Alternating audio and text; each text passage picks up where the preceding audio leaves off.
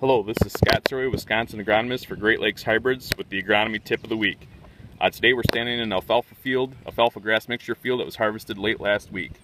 Uh, today I want to talk about post uh, first cutting management on alfalfa.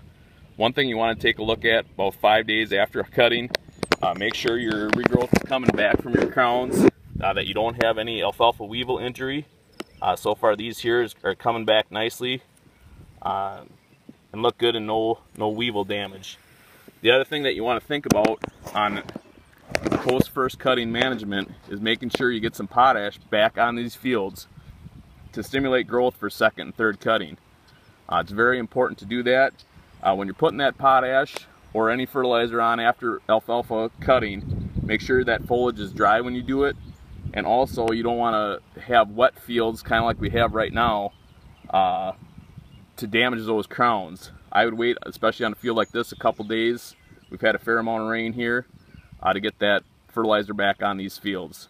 And one final thing that I want to talk about is the southerly winds that we've had the last uh, two, three days with the big storms coming from the south.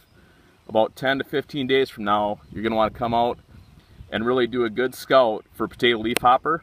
Um, those leaf hoppers come on those southerly winds, and if temperature and conditions are right, we could have some leaf hopper damage later on. So uh, those are three things, like I said, uh, that you want to take a look at after first cutting management.